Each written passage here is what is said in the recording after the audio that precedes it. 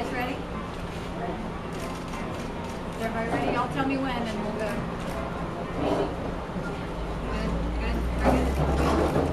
All right, first of all, thank you. Um, you know, we had a great night last night.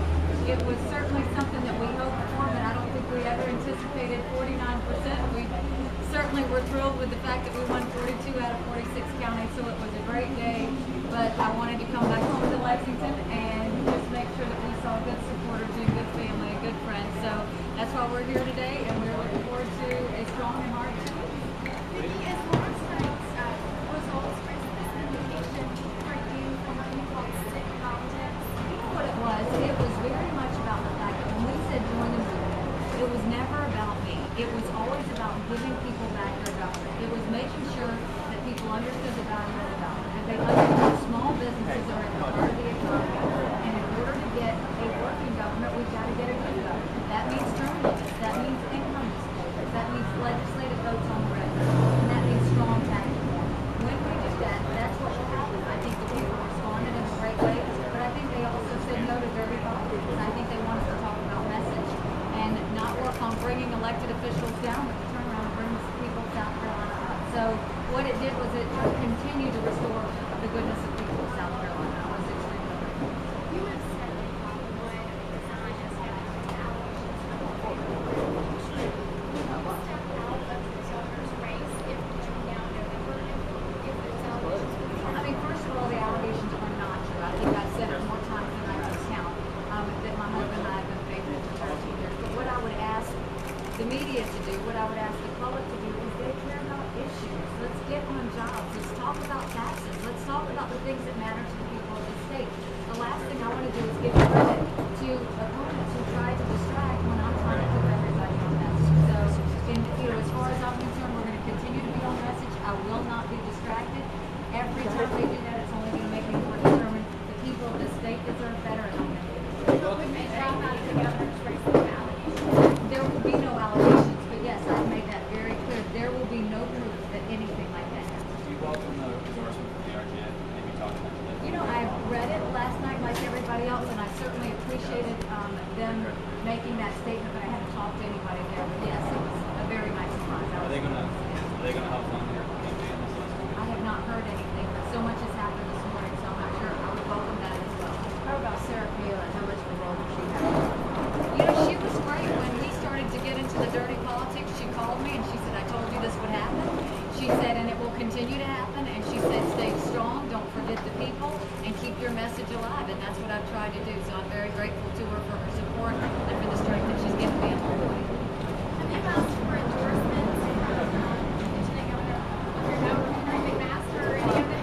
You know, the one thing I will tell you is I just heard this morning um, Henry McMaster's statements from last night. He was extremely gracious. I will tell you that um, he was a joy to campaign with. He was always pleasant. He was always respectful. Um, we always had a good time on the campaign trail, and it was never bitter. He has my great respect. He's been amazing to our party. He's been amazing to our state, and I think we will continue to see Henry um, involved with the people of South Carolina for a very long time. Congressman Barrett this morning was asked to draw a distinction between you and he, one thing he mentioned was that he's a businessman and you're not. Well, you know, I'll tell you, I started doing the books in my parents' business when I was 13. Um, graduated with a degree in accounting, went and became a corporate executive for a company and five vet subsidiaries right out of college, and I came back home to our 32-year family business. Small business is all I know. It's the reason I ran for the state house. I was determined to get government to know the value of the dollar, and 95% of our economy is small business. Until people understand that you take care of your small businesses, you take care of your economy, you take care of education, you take care of quality of life. So I've continued to sign checks, I've continued to hire people, I've continued to have to deal with the Employment Security Commission, I've continued to do all of that. So um, I will let you decide what a small business person is, but I'm very proud of the experience I have, and I'm very much a fighter for small businesses in South Carolina. What is the difference between you and Church? You know, I think that what I want is I want good government for the state of South Carolina. I think that you can look at the issues I've fought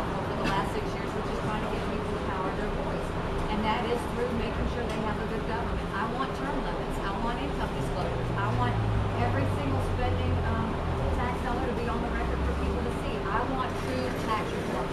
I will tell you, going into the budget crisis that we're in, we need an accountant to get us through it because every dollar matters, and it's not what we spend, it's how we spend. I don't think we should be handling bailouts. I don't think we need to be dealing in stimuluses. I don't think we need to deal with fake money that doesn't exist like we saw in the budget this past week. What I think is we need to prioritize and think about small businesses had from, from our listeners was that you had sort of an adversarial at times relationship within the House and the legislature. What can be done to overcome that, or are we looking at, uh, the essential relationship with Governor Sanford's having in You know, I'm a different person than Governor Sanford, and what I will tell you is, I worked well with the legislature when it was workers' comp reform. I worked well with the legislature when it was coastal insurance reform. I worked well with the legislature when it was trying to get tort reform through. The thing that the legislature and I disagreed on was I think they should show their votes on the record, and they disagreed. What I will tell you is it's about communication. I will work hard to make sure that I communicate with the legislature. I will work hard to make sure that the legislature and I work hand in hand to make sure that South Carolina benefits. But my job is not to please the legislature. My job is to please the people of the state and work for the people of the state, and that's what I'll continue to do. What did you learn from your shortcomings about having You know, the one thing I learned from it was watching the challenge of Governor Sanford, and by nature, he was reactionary. Legislation would pass and he would react. In order to truly um, be a leader with the legislature and with the people of South Carolina, you have to be predictable. You have to let them know what you're going to do before you do it, and you have to let them know the consequences before they happen. My job is to work with the legislature from the committee level, to the House level, to the Senate level, so by the time it gets to my desk, it will have been a team effort. What I will tell you is for all legislation, for everybody that helped us good government pro-business reforms, I'll go into every one of their districts and praise them for it. For everybody that works against good government pro-business reforms, I'm gonna go into every one of their districts and hold their hands. I think that's the job I need to do for the people of South Carolina. You talked about the stimulus money. You vote twice, is that correct, to put stimulus money on the budget? The vote that mattered, and we can play these games all day long. The vote- no, it's not a game. No, no, no, and I don't mean that disrespectfully, but the vote that mattered that affected the people of this state was that when it counted and it affected the people and we had the information I voted against the stimulus. I voted against the budget that included the stimulus. And I also asked the legislature to give us twenty-four hours to approve. What, what are those two votes that people, that your critics talk about? And there was a vote when we first had the stimulus come down from Obama. And I made two calls. I called Senator DeMint's office and I called Governor Sanford's office. And I said, do we have to take the money? And their answer was, we don't know. So what you saw me and a lot of reformers do was throw a lot of amendments to that package to see if we could clean it up. Once it came back from the Senate, we realized it couldn't be cleaned up. And we realized that we could fight it. And that's why you saw my final vote was against the stimulus. And, you know, it was the right vote. And I will continue to stand by that vote.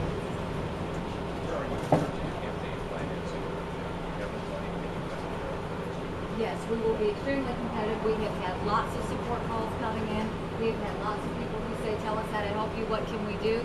And so, you know, certainly I'm on the phone, I'm asking for it, but I am very, very grateful to the support that we've seen across the state, across the country. People love the fact that South Carolina made this decision last night. People love the fact that South Carolina showed it was going in a different direction, and they love the fact that there was something positive that came out of it, which is this was a woman that was running that had no name ID and no money, but what she did have was the fact